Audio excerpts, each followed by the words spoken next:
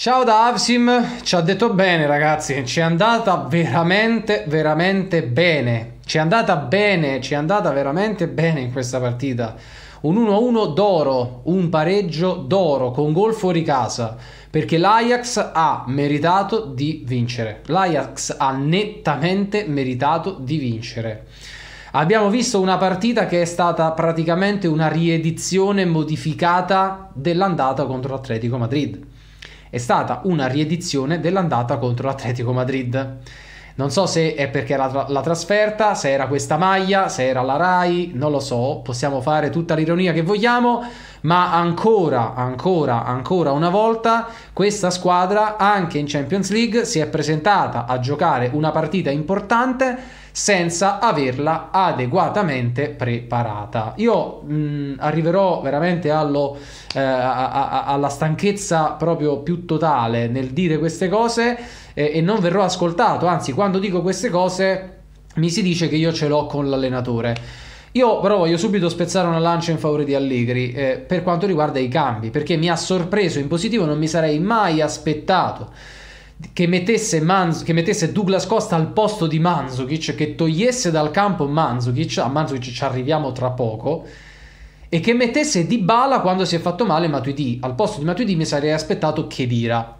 Ora però i cambi non hanno modificato la partita. Dybala ha preso tre palloni, forse quattro di cui uno in difesa, uno in difesa vicino alla bandierina del corner e Douglas Costa ha fatto la, grandiss- un grandissimo elastico con tunnel, però inutile perché non abbiamo mh, continuato l'azione e poi ha preso un palo clamoroso che grida vendetta. Grida vendetta, però gridano vendetta anche le parate di Scesni, grida vendetta un paio di tiri eh, fuori di pochissimo da parte dell'Ajax, il tiro respinto in corner di Rugani nel finale, le tantissime azioni dell'Ajax dentro la nostra area di rigore.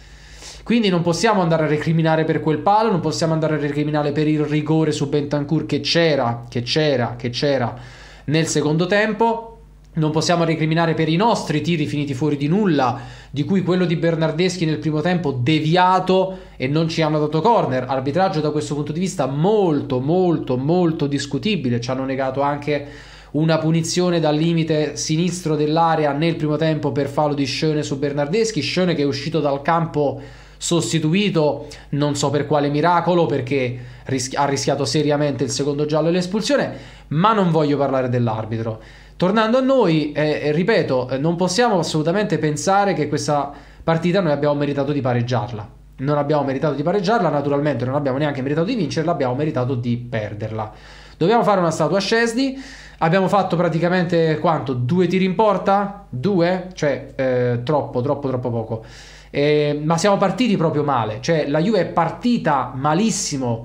La prima mezz'ora almeno è stata veramente eh, oscena, veramente oscena, con in particolare alcuni giocatori totalmente in bambola.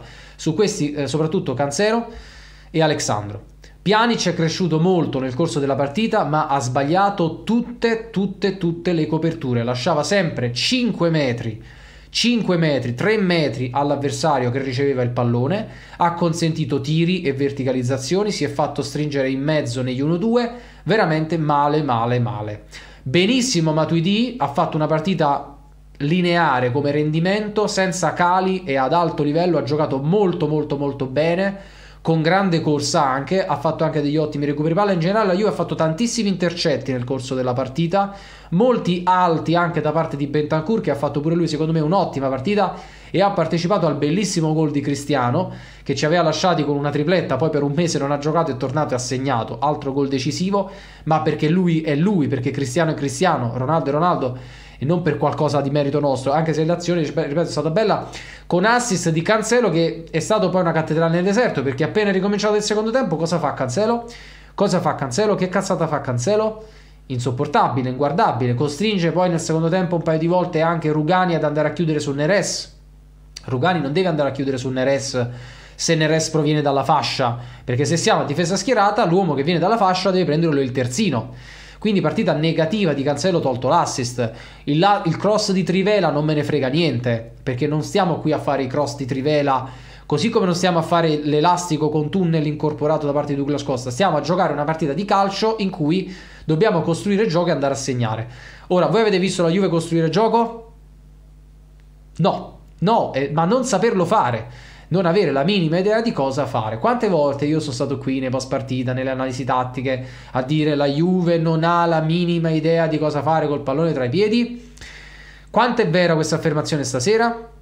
Purtroppo troppo, tanto, tanto e troppo, tanto, tanto e troppo. Eh, non è entrato Ken, poteva essere un cambio decisivo, magari la metteva dentro, però non faccio tanto colpe ad Allegri su questo perché onestamente a un certo punto per mettere Ken dovevi togliere Ronaldo perché non potevi togliere Bernardeschi, altrimenti facevi un 4-4-2 con due centravanti, era difficile da gestire.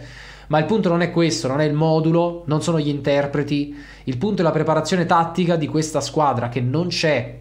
Allora dovete capire, dobbiamo accettare l'idea perché è così, che questo allenatore per mentalità, per mentalità rivendicata da lui stesso, da lui stesso scritta nero su bianco, affermata a chiare lettere più volte, non prepara le partite non prepara le partite, non prepara le partite.